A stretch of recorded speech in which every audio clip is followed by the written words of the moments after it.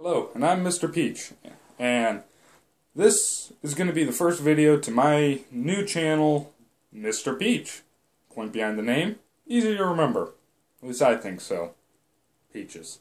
And I feel it was appropriate that to start, to introduce my new channel, I should start by introducing my AMD gaming computer, over there, there, that thing, that is, that I have named Aurora.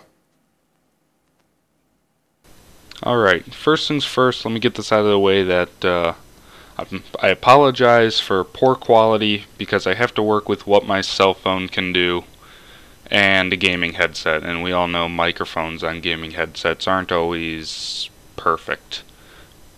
Alright, let's talk about what we're really supposed to be talking about here, and that is all the parts inside of Aurora. Let's start with the more obvious things, like my Thermaltake SpinQ CPU cooler. It's really cool looking, it's effective, and I don't know, I just love it. Um, there's not much more to say about that. And then underneath that we got my AMD Radeon HD 9750 graphics card, which was a gift from my brother, and I thank him for it.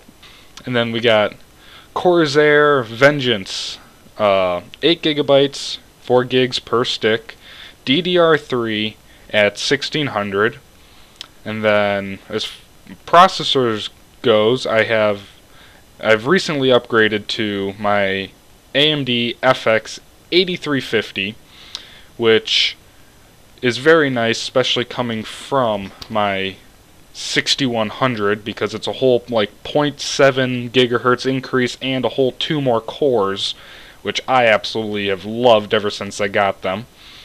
And like two generations or a generation, I'm not sure.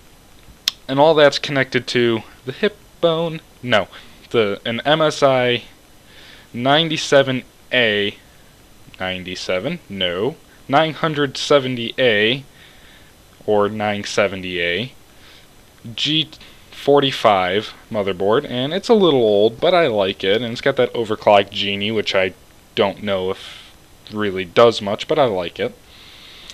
And we have my power supply, which is a Corsair CX 500M, so it's modular, 500 watts. And then as far as memory goes, or mm, storage, I think that's the correct term, I have Samsung solid state drive 240 gigs also a gift from my brother which I do very much love and I thank him for it. And then I have a one terabyte hard drive that I think is made by Hitachi that I bought a long time ago. It just does most of my mass storage. And then all of this stuff is wrapped up inside my case which is a Thermaltake Versa H34 reason behind choosing this case is it's it's more subtle, but you can tell that there's something going on. And it's got a side window that's rather square and it's nice. It's not like that weird slanted stuff. But that's all I have to say about Aurora for now. And thanks for watching. This is Mr. Peach.